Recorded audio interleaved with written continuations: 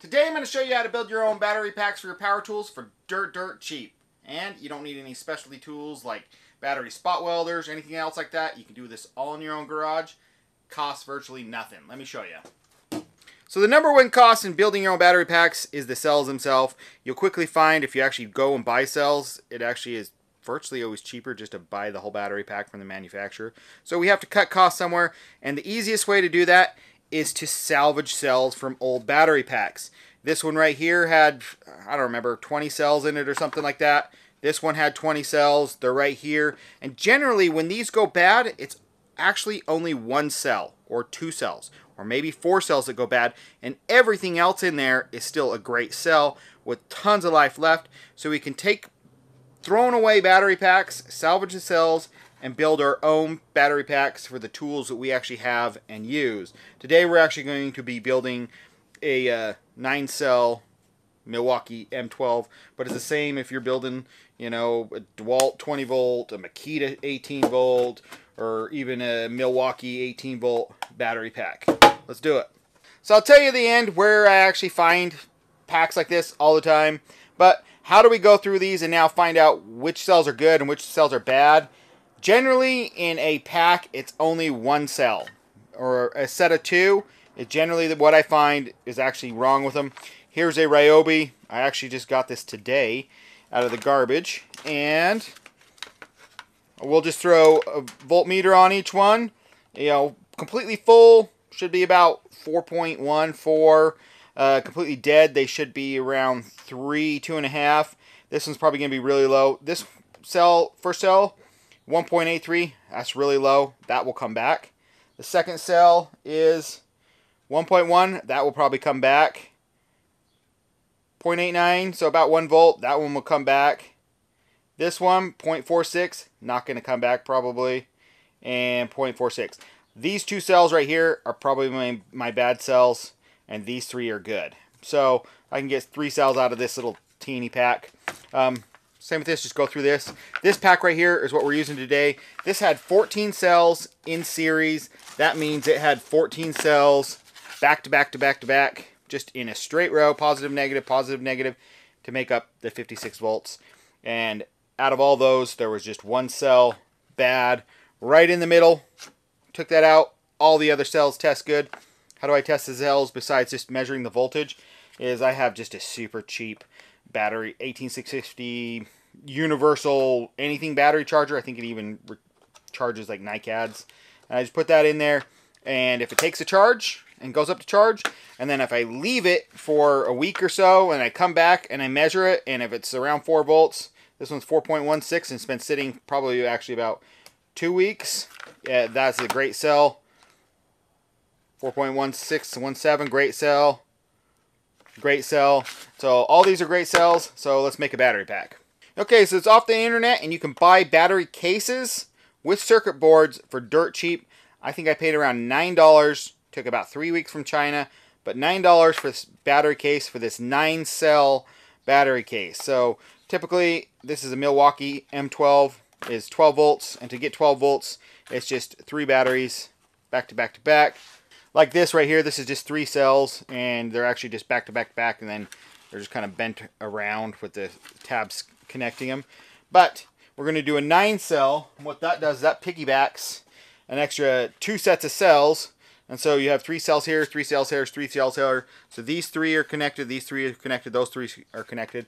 This would be a, a 3P, 3S. So three in parallel, three in series, and you buy this whole case, comes with all the pieces you need. So we can build a battery pack for around nine bucks. A these are 2,000 milliamps. So once you add, you know, three together and three in a row, it ends up being a 6,000 milliamp 12 volt battery pack. Um, so pretty straightforward. Let's just dive into it. We got all the parts to put it together. And it's as simple as just soldering everything together. Yes, soldering. We don't need to spot weld anything. Now you can see that I still have some of the old tab left in there. Not a big deal. I actually like to cut it first and then peel them off afterwards. Because if you're not careful, sometimes you can rip the bottom of the battery. It's only happened to me like once or so. But we'll just take these off. And then in order to make the solder stick, what we need to do is just sand it really fast. Just scuff it up. Really nothing spectacular. And there's a little bit of a nipple for me pulling that off. I just sand it down a little bit. I'm not sanding through the metal. I'm just sanding it down a, a teeny bit. Scuffing it. Do that to all of them. We'll go from there. This battery pack is a little bit more complicated than most battery packs, so that's why I'm showing it. A typical battery pack with, you know, this would be like an 18 or 20 volt battery pack. You're just going to have five cells, five cells, and everything's kind of open and easy just to work on and solder. This one has them, I have to group them in a set of three here, set of three here, and then a set of three underneath. Um, so these are going to have all the positive and negatives are going to touch. They're just, you know, they're just lining up side by side by side.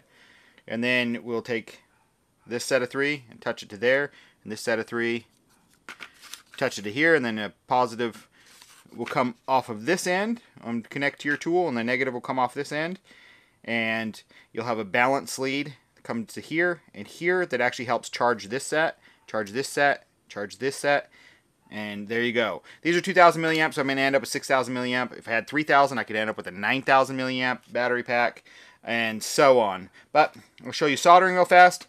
Yes, you can solder. I have soldered cells so many times. Some of my packs are over 10 years old with never a failure from soldering.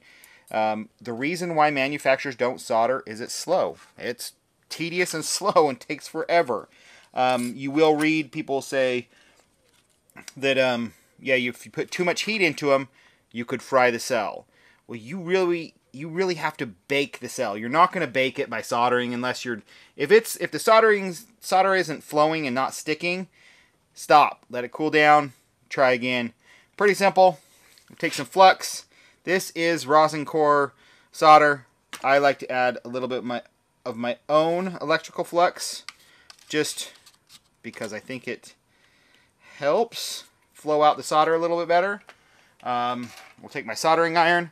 Uh, you can you can get a soldering iron for ten dollars. It will do this, even cheaper, seven bucks from Amazon, something like that. And I'm just going to. This is called tinning. I can watch the solder. The solder flowed out. That's all I need. Done. These battery packs will get hotter just in use than me doing this. I mean, that's not even warm. Solder melts at, you know, 600, 700 degrees, 900 degrees, somewhere in there. Uh, if you want to be technical, I guess spot welding is 2,000 plus degrees. So then we'll take my tab and make sure I got it aligned which way I want it. I might, sometimes adding more solder helps it flow out faster. We'll just dab a little bit. And if you put on too much solder and you got too big of a glob, guess what? You can just sand it off or melt it off. Get that to set flat. Needed to go all the way flat. Kind of, we have space requirements in these battery packs. There you go. It melted.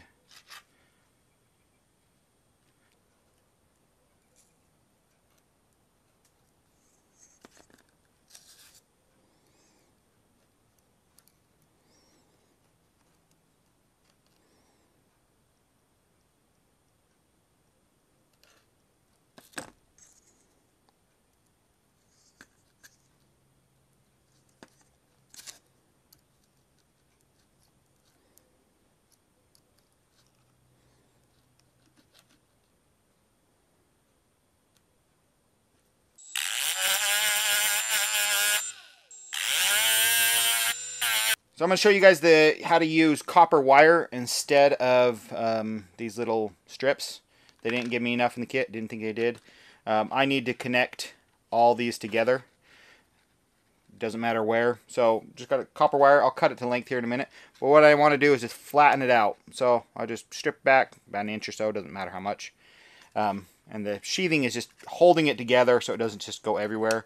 And you can see this is 16 gauge wire and it's about the same as these strips and it's copper it'll conduct way better so we'll just put a little bit of flux on the wire get our soldering iron ready so you want your soldering iron as hot as possible um, not to put heat in there but so you can get in, get out.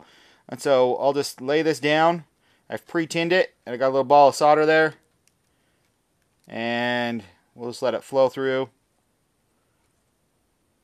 Let it cool down for a second. I got one or two strands not connected in. We'll come back and spread the solder out just a little bit. Maybe I'll add a little bit of solder to there just to get enough to flow it out and stick all my pieces. There we go. Easy enough. Now I can just measure the length I want. If this needs to run up to like my charge, one of my charge ports or something, I can as well. And so this looks about adequate. And now I can just pull off the rest of the, the sheathing. See, I'll pull some back for a minute. Lay it flat again. Do the next one, the next one, just bend it, do the next one, and you're done. There you go. That's what it looks like. Copper wire. We're getting there. We're almost done. It's all together and I've tested voltage. There's really not that complicated. So you got your positive right here that would go out to your tool. That comes through. Positive to negative. Just touches. Then negative to positive. And then negative. So if you touch here to this side and this side, you get 12 volts. So you touch here is my negative. There's my positive. 12 and a half volts. Now all these battery circuit boards are going to be pretty basic. This one actually says B negative right here, B positive right there. And then we have a 4 volt, 8 volt. I'll show you where those go. Those just So a lead will just go from here to here. And a lead will go from here down to here just to balance the, uh, the voltage in each set of cells. That's part of lithium's thing. But now I'm just going to solder some wire from, from here to go up to my negative. And then I'll have to run a lead from here down the back all the way down to my positive down here. So just doing our, we got the negative, which was just the top of this battery, and then the positive goes right here, and so we have to run a, a uh, wire up, and so wherever, the problem is, is on these 18650s, the entire outside is negative, so this is negative under a thin little sheath, so you want to put electrical tape or anything else around there. Uh, I'm crossing over negative terminal right here, I put double electrical tape, leave the insulation on. I'll come down to here and then I'll just cut it and solder it right to here. There we go. All done. Nope, it's not super pretty, but it's functional and works and it's on the inside and you'll never see it. And they're all free batteries. So you see the green and the white leads. The white lead comes down, monitors the voltage here. The green lead comes over here and measures the voltage between here and here to charge this pack. And then the white lead also goes from here which mounts to here, that matters, that monitors the voltage between this little pack. So we're all done. Voltage is all test out perfect. Let's um, put together. Put the collar on. Put the base on. It all fits together. Let's uh test it out.